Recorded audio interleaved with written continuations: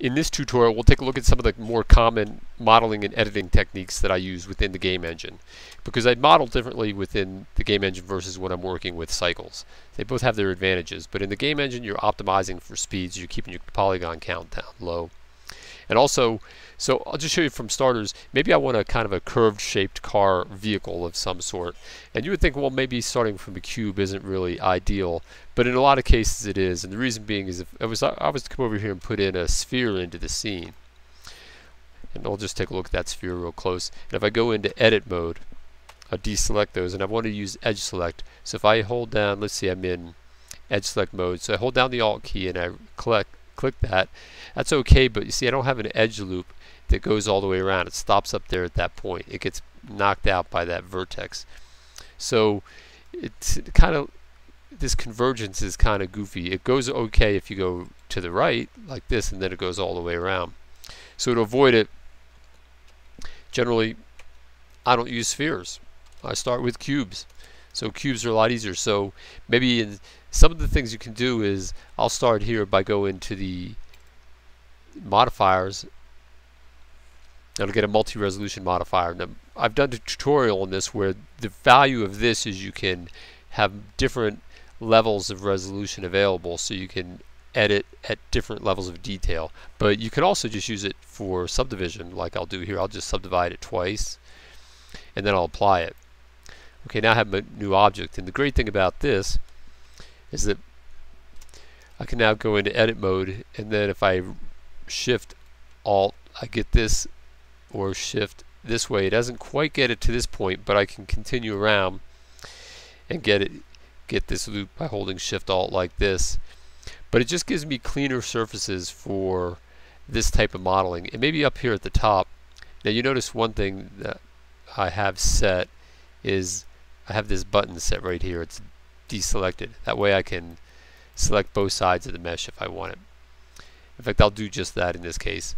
I'll just take this top part and maybe I want to select all of those so I'll grab all these points like this and maybe I want to model with all those maybe I missed one there alright I'll get that one too alright but maybe this wants to be a flat surface on top instead of curved and how do I flatten that I can't just grab each individual vertex and flatten it easily so you press S followed by Z because I want to flatten it on Z and then press 0 on the numpad whoops hang on I didn't left click. Alright, so you left click and there I go, I flattened that surface. That's a really powerful trick. I use that a lot. A couple other things is in here, maybe I'll come in and I'll select, I'll just shift select a few things. These guys across the top. Whoops, I missed that one down there. How I get that one? Hang on, I better try that again. This one, this one. Actually, there's one thing you have to be worried about when you have CC through. You can actually pick things on the bottom side as well. So have those, and maybe I want to adjust this because I want to have a something here, and I want to be able to pick up a different face. So I can press Shift V, and Shift V allows me to slide these along these like this. It's just great. I love that technique. Alright, so there repositions my faces differently.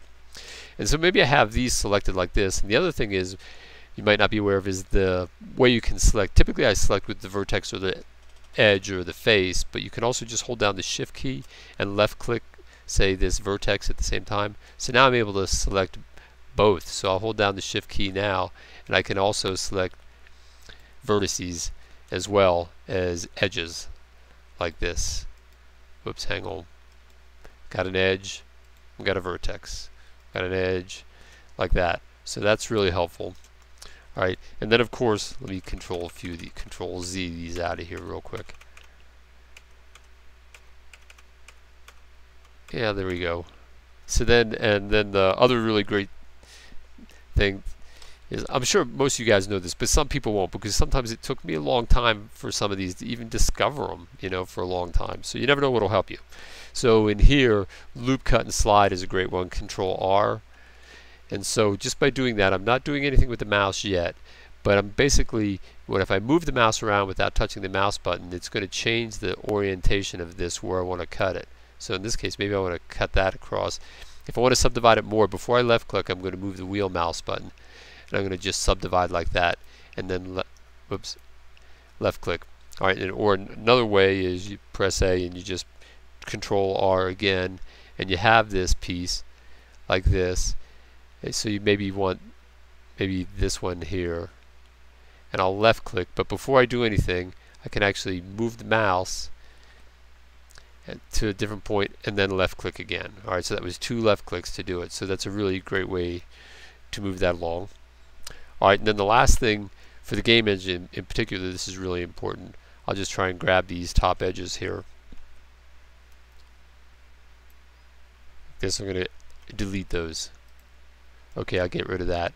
So this is okay. So you're in whether you're in texture mode or solid mode, it looks everything looks okay from this. But when you go into game mode and actually run the game, if I press P to start it, it disappears because by default it's rendering just one side of the polygon. And so the best way to deal with that is to be selective about what faces. You don't always want to render everything double-sided. You could just by pressing, if I pressed Shift D and immediately left click, I've made a copy of that object right there. And then if I go into edit mode and I press A to select all, I come down to the mesh and I'll take the normals and I'll flip the normals around. And then basically I have two copies. So if I leave here, now I should have two copies, uh, two copies, but one with the normals facing in and one with the normals facing out. So if I run the game, now I actually see everything. Right? So you can verify what normals you have if you press N and then come down here and you can't see this unless you're in edit mode. So I come into edit mode here and then I can press this normals button down here and change the length so I can see it like that and you'll notice which one I'm looking at. I'm looking at that inside copy. That's the one that I flipped normal around on. So if I leave edit mode and, click this again, which means now should be there's cube. That's the original one versus cube. Notice if I click out here, you can't get the inside cube because you have to you have to be able to click where the normals face to be able to select. So I'm going to click on the inside to get that inside cube there. On the outside, I've clicked the outside cube. I go into edit mode. I'll press A. Down here I have to click normal again for each one and there's all the normals facing outward on that. But typically what I do is I don't I won't work so much that way. Let me just get Cubo 1. Oh, look that I was able to select that one that time, not usually.